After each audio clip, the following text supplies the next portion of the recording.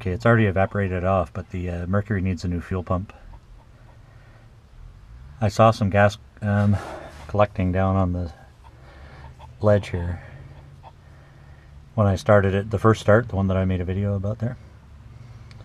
And, uh, but the thing is, I had had to prime it a bunch to get it to start for the first time because it's been sitting so long.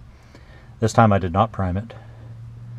And I wanted to just start it naturally and see if I still saw, because it is totally possible for me to over uh, force too much gas into the bowl or into the glass bowl. Uh, and, and, you know, it ends up forcing it right into the pump and perhaps squeezing it out the side. So I thought perhaps I was just adding too much mechanical fuel pressure there.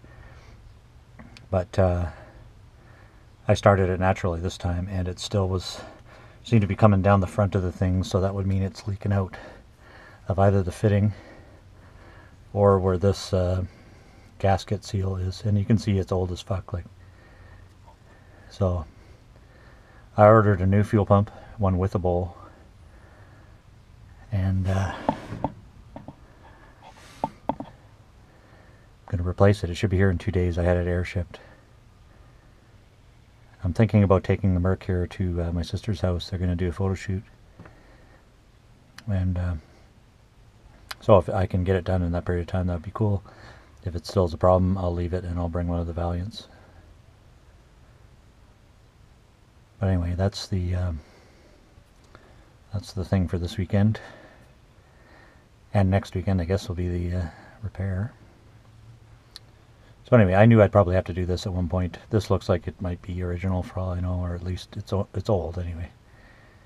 Um, I thought briefly about, you know, why not just go electric at this point. But, I don't know, it's a 6-volt system. It's harder to find uh, 6-volt fuel pumps, and um,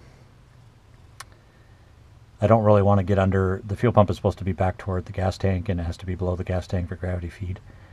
I would much rather have the pump up here if I'm going to have it at all. And most of them just don't want to, uh, just don't want to do that.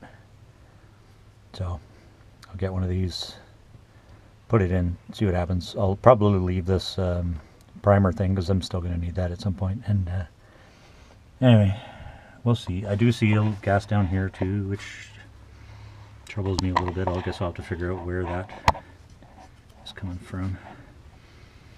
This is the carb that I put on uh, last year because the other, and I can see it's also uh, leaking out the um, accelerator pump here. So anyway, that might be a little fire hazard too, but anyway, we'll work it out, and that will be upcoming.